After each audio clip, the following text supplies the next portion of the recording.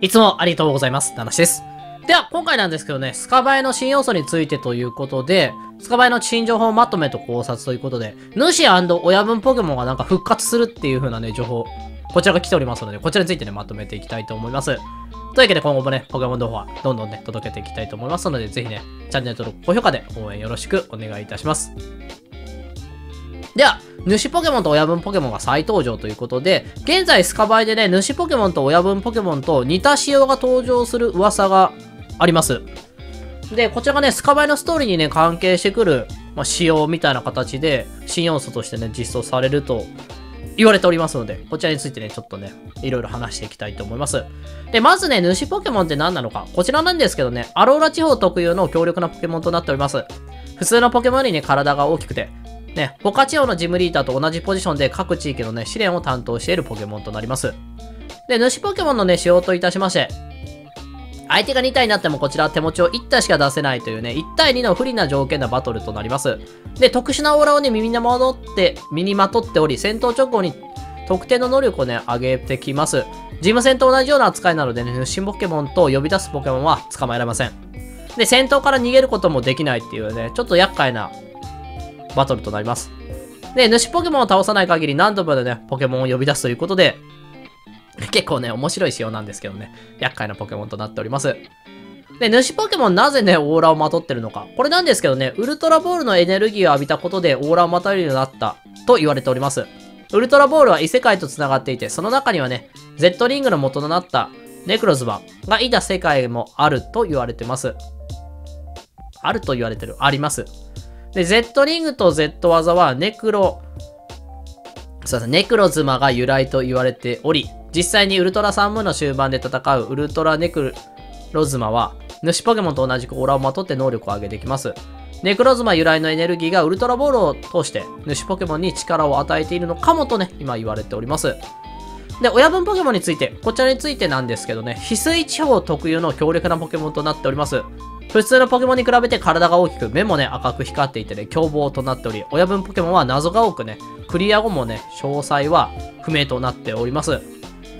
で、こちらのね、親分ポケモンの仕様。こちら、親分ポケモンは元が温厚なポケモンでもね、人間を襲います。で、普通のポケモンに比べ、かなり捕まえづらくレベルが高いです。平均10レベルのところに40レベルのポケモンが出ることもあって、ちょっとね、気をつけないといけないです。そしてさらにね、常時パワーアップしてるので、かなりのね、強敵となっております。まあ、ただしね、その分捕まえれますので、捕まえた時はね、かなり頼りになります。普通のポケモンに比べ、スペータスも高くなってる上、特別な技を覚えてることもあるので、まあ、ぜひね、捕まえて、親分、頼りにしていきましょう。で、捕まえた親分ポケモンにはね、鬼の顔のようなマークがつく仕様となっております。で、親分ポケモンの謎ということで、親分ポケモンはね、普通のポケモンに比べて強く捕まえにくい以外の情報がほぼないです。どうやって現れたのか、強るに翡翠地方の未来の信用地方ではなぜ見かけたいのか、似たような存在のキングポケモン、クイーンポケモンとはどういった関係なのかということが全くね、分かってないポケモンとなります。で、こちらクリア後でもね、謎は明かされず、親本ポケモンはね、謎が多いです。で、似たようなシステムが来るらしいスカバイで、もしかしたら親分ポケモンの謎が解けるのかもしれない。で、スカバイでね、じゃあこの主ポケモン、親分ポケモン実装されたらどうなるのか。こちらね、スカバイでもレジェンズアルセウスと同じで、ポケモンごとにね、体の大きさが違いそうかなと。で、主ポケモンや親分ポケモンのように、たあの、体が大きいポケモン。で、他にも普通のポケモンには使わない特殊なマークもつきそうかなと思います。で、もちろんね、親分ポケモンつかめれるということで、冒険のお供にはすごくね、役立ちそうなポケモンになりそうなので、ちょっとね、テラスタル仕様とかもあるので、そこら辺とどういう風になるのか、ここもね、ちょっと注目しましょ